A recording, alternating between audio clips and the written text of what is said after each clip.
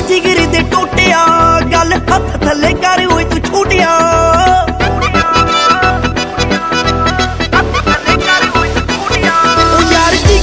ਜਿਗਰੀ ਦੇ ਟੋਟਿਆ ਗੱਲ ਹੱਥ ਥੱਲੇ ਕਰ ਓਏ ਛੂਟਿਆ। ਇਹਨਾਂ ਹੁੰਦੇ ਦਸ ਗਾਸ ਦੇ ਫਿਕਰ ਜੀ ਹਰ ਗੱਲ ਵਿੱਚ ਇਹਨਾਂ ਦੇ ਜ਼ਿਕਰ ਜੀ। ਕਚਹਿਰੀਆਂ ਦੇ ਸਰਕਾਰੀ ਪਰ ਨੋਟ ਜਹੇ ਨਾਲ ਖੜੇ ਨੇ।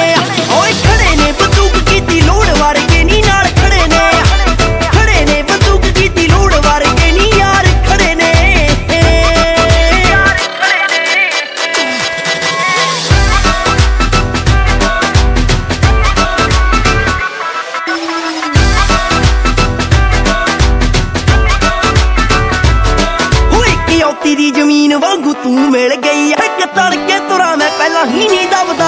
ਹੱਸਦੀ ਕੀ ਹਵਾ ਦੇ ਵੀ ਵੱਲ